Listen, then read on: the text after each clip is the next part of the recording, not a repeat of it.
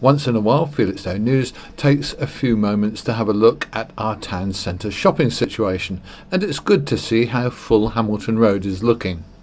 At the sea end, Fabricate is still empty. It's for sale freehold and it's a big site. On the corner, the solicitors' offices are empty but have had lots of work going on, while just around the corner, the JTech computer shop is still on the market. Not sure what's happening there now.